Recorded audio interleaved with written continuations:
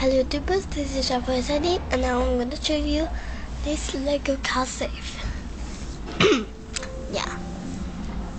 Mm, this is the car and then the pattern of like a finger like this.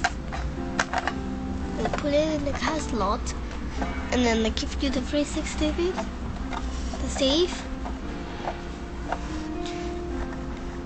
and then this mechanism is totally different. And when you what happen and you put a card on there and then push the safe will come out and right here have a mini figure. And then a rod and it's really I think it's yeah and then I put card on yeah.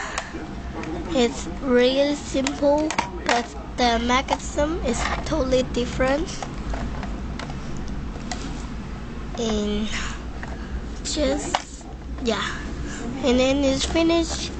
And I will make a tutorial and please rate comment subscribe. Bye